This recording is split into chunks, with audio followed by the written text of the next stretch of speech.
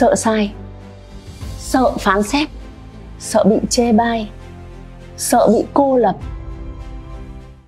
Trong hành trình chữa lành cho những đứa trẻ thì cô Lanh đã chữa lành cho rất nhiều đứa trẻ mà tổn thương do bạn bè cô lập. Trong cái hành trình đi học của con ấy, và hầu hết các con không nói với cha mẹ đâu. Bé thì các con nói đấy, nhưng mà sau lớn dần các con sẽ không nói với cha mẹ nữa. Mà cứ lủi thủi bạn bè cô lập mình có một cái trường hợp như thế này. Cha mẹ là từ nước ngoài, đưa con từ nước ngoài về sinh sống.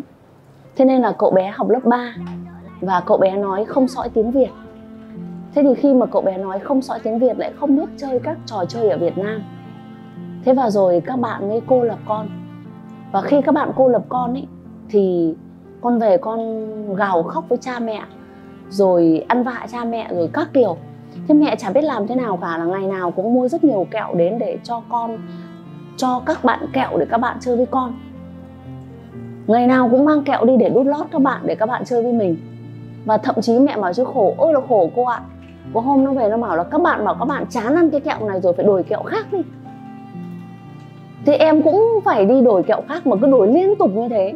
Ngày nào cũng phải đi mua kẹo để các bạn chơi với con mình, không mình thương con mình mà mình không biết làm thế nào để mà để mà con mình hòa hợp được. Thế sau đó thì tôi mới làm việc với bạn ấy. Lớp 3 thôi, các anh chị ạ. Tôi làm việc với bạn ấy thì hóa ra là các trò ở lớp ấy là các bạn hay chơi bài. Các bạn hay chơi bài.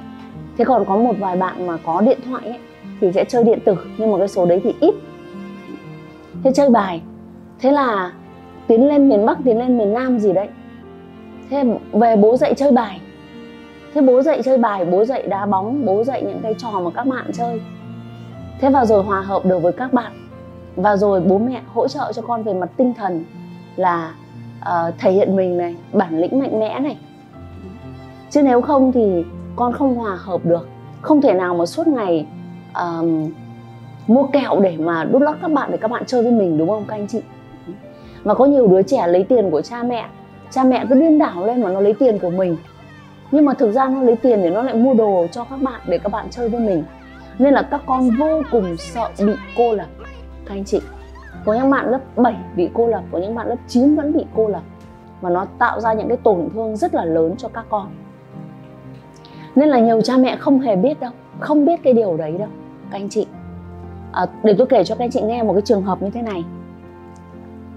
Đấy là bạn ấy từ lớp 5 lên lớp 6 thì bắt đầu hành trình cùng với cô Lanh. Ngày xưa là cô Lanh toàn làm với các con thôi. Thì bắt đầu hành trình cùng với cô Lanh thì sau đó thì khi mà lên lớp 6 được độ khoảng một vài tháng đầu năm ấy thì mẹ mới điện đến học viện Minh Trí Thành. Và mẹ mới nói như này uh, điện được cho bạn hỗ trợ ấy. Mới bảo là em ơi em xem như thế nào chứ? Từ ngày con nhà chị học ở học học cô Lanh từ ngày con nhà chị học ở Minh Trí Thành mà bây giờ nó không thèm chơi với ai nữa bạn bè thân nó cũng mít hết rồi, nó không chơi với đứa nào nữa. Ở trên lớp thì nó cũng không kết bạn với ai, nó cứ thui thủi một mình. Mà chị hỏi thì nó cứ khóc, nó không nói gì. Thế thì khi mà cô Lanh nói chuyện với bạn ấy, thì vấn đề là như thế này, các anh chị. Con nói là lớp 4 cha mẹ con bắt đầu từ quê lên thành phố. Và khi mà con vào học lớp 4 cùng với các bạn, thì con rất là sợ cô lập sợ các bạn không chơi với con sợ các bạn chê con quê mùa. Nên là có ba bạn khác chơi với con. Nhưng suốt ngày dọa con như thế này. Mày mà không làm theo bọn tao ấy là bọn tao không thèm chơi với mày nữa. Và bảo với cả lớp là không ai thèm chơi với mày nữa. Thế nên là suốt những năm lớp 4, lớp 5 là con chơi với các bạn đấy không phải chơi thân đâu mẹ con nhìn bề ngoài tưởng thế thôi. Nhưng con chơi như một nô tỳ luôn con như là người hầu của các bạn ấy. Và hôm nào các bạn cũng bắt con từ tầng 3 xuống tầng 1 nào là gọi người này, gọi người kia hay đi mua cái này cho tao.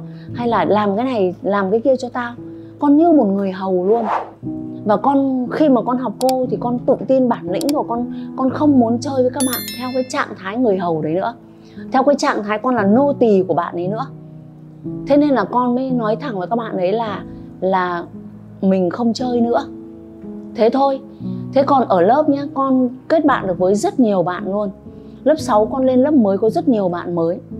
Nhưng mà bạn ấy lại về nói với mẹ, bạn ấy là con không có bạn, con không chơi với ai. Nên mẹ bạn ấy lại nói với mẹ con. Nên mẹ con hiểu lầm là như thế. Chứ không phải là con không có bạn, con rất nhiều bạn. Mà bây giờ con chơi rất là thoải mái luôn, bởi vì các bạn rất là tôn trọng con.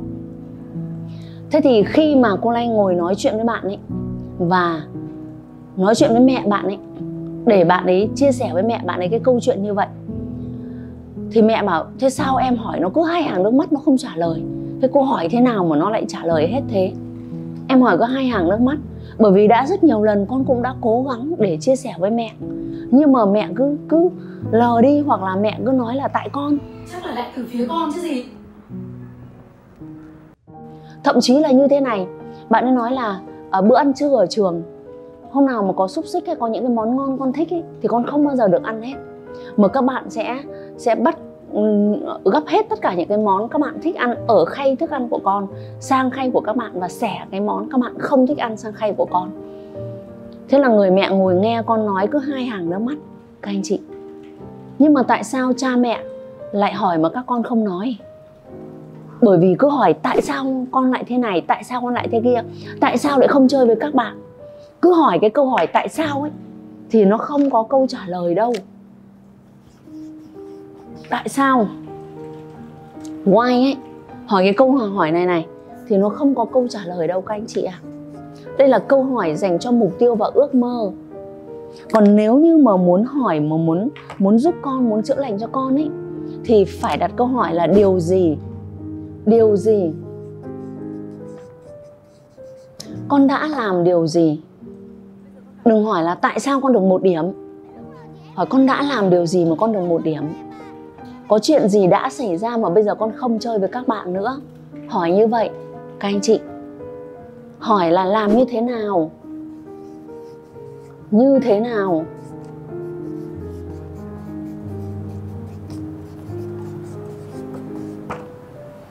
Hỏi là như thế nào? Con đã làm như thế nào?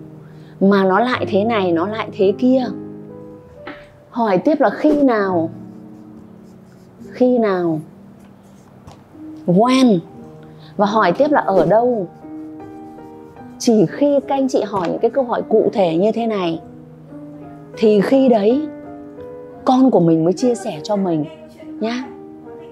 Khi nào con làm cái điều này mà nó lại như vậy? Con làm cái điều này ở đâu mà nó lại như vậy? Hỏi như thế.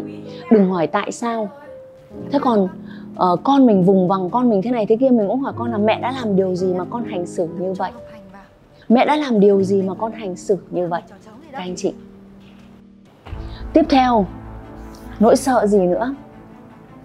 Sợ không được yêu thương.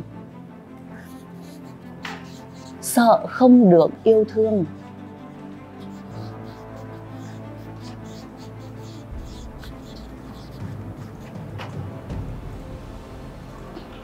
Cô Lan cũng đã coaching cho những cái trường hợp, kể cả là người lớn rồi nhé các anh chị nhé sợ không được yêu thương. Có nghĩa là từ bé mình lớn lên và suốt ngày cha mẹ bảo mày là con nuôi của cái ông làng trải của cái ông trải lưới kia kìa. Bảo như vậy. Thế thì đương nhiên, người lớn thì ai cũng biết là nói đùa thôi. Nhưng mà các con ấy lại tưởng thật đấy, các anh chị. Và các con luôn nghĩ rằng mẹ, cha mẹ không thương mình bằng các anh em của mình cha mẹ không? yêu mình bằng các anh em của mình và mình không được yêu thương. Hồi có em, mẹ không thương con. Cái thằng bé này. Và sau này lớn lên Cũng bị mắc kẹt, sợ không được yêu thương. Nên là luôn luôn làm là nhìn ánh mắt người khác Nhìn khuôn mặt người khác Nhìn vào suy nghĩ của người khác để mình làm. Bởi vì mình sợ không được yêu thương Nỗi sợ tiếp theo nữa Sợ không đủ giỏi